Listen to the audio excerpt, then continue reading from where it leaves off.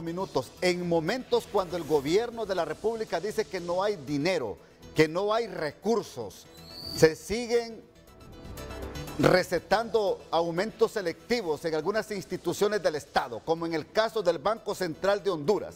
Mire, los empleados lograron un ajuste salarial del 9.5% en enero de este año. Sin embargo, el contrato colectivo manda que si el índice inflacionario se dispara en el país, se procede a otro ajuste del 10.2%. Esto son incrementos selectivos de hasta 20 mil y hasta 200 mil empiras. Imagínense, 60 mil empiras en unos casos y 11 mil empiras con 820 en los casos menores. Esto está pasando al interior del Banco Central de Honduras. Carlos Llanes con los detalles.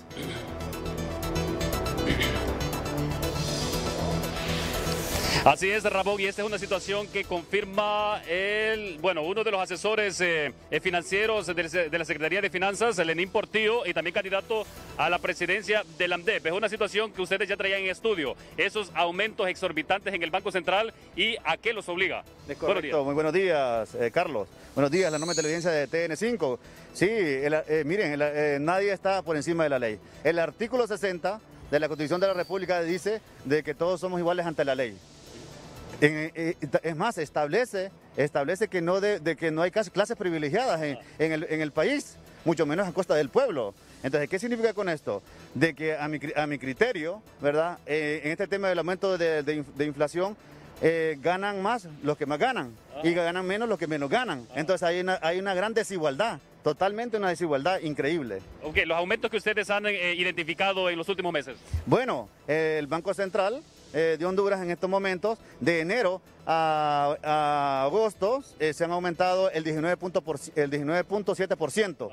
¿Qué conlleva con esto? Que un funcionario que te gane 200 mil empiras, de enero a, de enero a agosto, prácticamente este, este personaje ganó 39 mil 400 lempiras. Tres salarios mínimos que un hondureños se lo, gasta, se lo ganan con mucho sacrificio. Bueno, esto prácticamente le dobla el sueldo a la presidenta de la República. Claro, claro. Entonces debería, de, yo recomiendo que debería de haber eh, un estudio, una reingeniería en el sector público, donde eh, eh, en la escala salarial se revisen todos estos, todos estos salarios, Carlos. ¿Y el reajuste que será aplicable a partir del mes de septiembre, a ellos también lo beneficiará? También lo beneficia, es un, es un, es un reajuste general.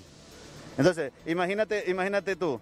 Bueno, ellos en su, en su párrafo segundo del artículo 41, eh, el, Banco Central menciona de que ellos eh, eh, esto lo hacen en base al ajuste del sueldo de la, canasta básica. Muy bien, entonces, ¿qué es lo que usted recomienda que se haga?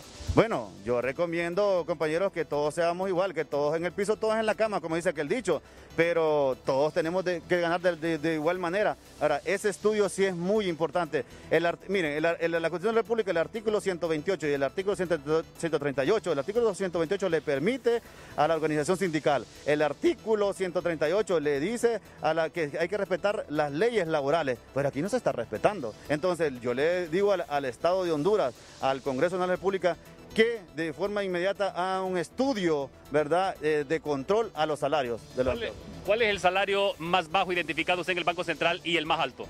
Bueno, yo eh, tengo entendido que el más bajo podría ser en un alrededor de 25 y el más alto de 200 mil empiras, o sea, ganan más que la presidenta de la República.